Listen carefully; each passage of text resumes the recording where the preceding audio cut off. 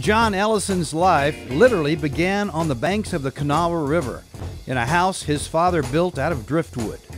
In the years that followed, his voice, spirit, and determination, and one song in particular, would take him to stages all over the world.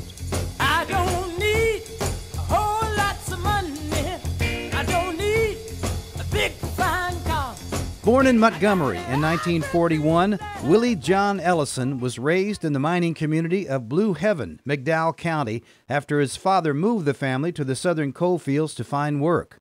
When those mines played out, they moved on to Landgraff. Ellison's life changing moment came when he saw Chuck Berry perform School Days on American Bandstand. Up in the morning and out to school. He formed a band called Little Willie and the Rock and Rollers. The group's first appearance was at the UMWA Hall in Keystone. While attending Keystone Eckman High School, Ellison was working the overnight shift at the Carter Hotel. In the 10th grade, he made the decision to leave school in order to keep his job and support his family. Then, one day, filled with dreams and ambition, he quit his job and bought a one way ticket to Rochester, New York to pursue a career in music. With his belongings in a grocery bag, he arrived in Rochester with less than $5 to his name. Eight years later, after playing in a succession of bands and styling hair, he joined the Soul Brothers Six as the group's lead singer, guitarist, and songwriter. The band had a hard-hitting sound that added a rock edge to an R&B feel and gospel harmonies. Its 1965 debut single was Stop Hurting Me on Fine Records, followed by Move Girl and Don't Neglect Your Baby.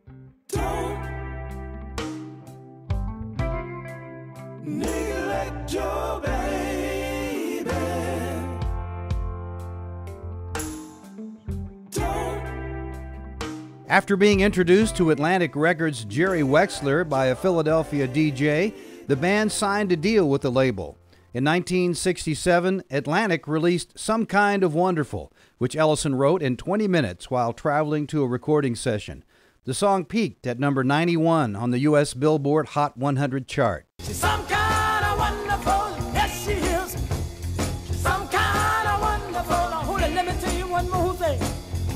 Tell me, is there anybody? None of the follow up releases, which included You Better Check Yourself, Your Love is Such Wonderful Love, and Thank You Baby for Loving Me, fared as well. I wanna thank you, baby. Ooh, I wanna thank you, baby. for loving me. And by the end of the decade, the group parted ways with Atlantic. From 1970 to 1974, his group released a number of singles for Philadelphia's Phil LA of Soul label as Willie John Ellison and John Ellison and the Soul Brothers Six, including Funky Funky Way of Making Love, You're My World, and Let Me Do What We Ain't Doing.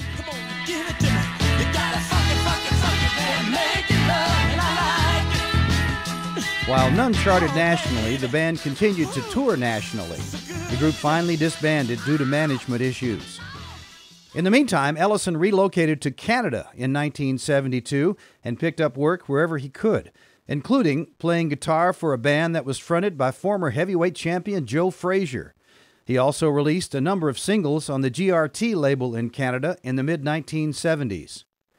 In 1974, Grand Funk Railroad released a version of Some Kind of Wonderful that reached the number three spot in the nation. Soon, Ellison's song was everywhere.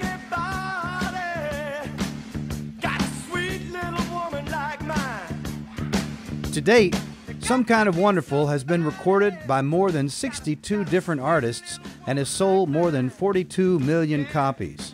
Notable versions were recorded by British blue eyed soul band Q Tips, featuring a young lead singer named Paul Young. Buddy Guy, Huey Lewis and the News, and British soul singer Joss Stone. As a result, Ellison has received five Lifetime Achievement Awards for writing one of the most played songs in the world. Unlike many artists of that era, Ellison, an astute businessman, retained the rights and the publishing to all of his songs, a move which paid off for him in many ways. In 2001, he started Some Kind of Wonderful Foods, which he regularly markets on the Home Shopping Network. Of course, his pitch includes singing. As a solo artist, Ellison has released Welcome Back in 1993 and Missing You in 2000.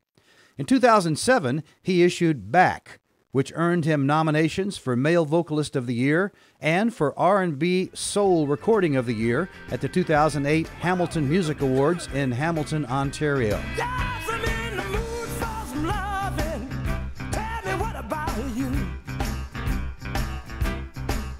Ellison is a regular performer at the Nice Jazz Festival in France and also performs regularly throughout Europe, Asia, and North America. In 2008, he performed The Invocation, a gospel version of Some Kind of Wonderful, at the West Virginia Music Hall of Fame's induction ceremony. In 2012, Ellison published his autobiography, Some Kind of Wonderful, The John Ellison Story. The following year, he co-starred and composed the music for the A&E movie The Rev. While Ellison splits his time between Toronto and Tampa, Florida, whenever he visits West Virginia, he gives something back to his home state. If he's in town doing a concert or benefit, he'll stop in and talk to the students about achieving their goals and how to reach their dreams, said April Hedinger, principal of Kimball Elementary. She goes on to say, Our school has one of the highest levels of poverty in the state, and many of the kids are in tough situations. John is motivating, inspirational, and he's kind. It means a lot to all of us. He's a hero to them because he's done so well. One of our students, a foster child, was very shy, but after John visited a few years ago, he started singing and performing. He went on to high school and now he sings for the entire school. Who knows? Maybe one day he will be in the West Virginia Music Hall of Fame. Died in 1965. He wasn't trying to get rich. He was just trying to survive. And life was a struggle each and every day. Trying to make enough money for the bills he had.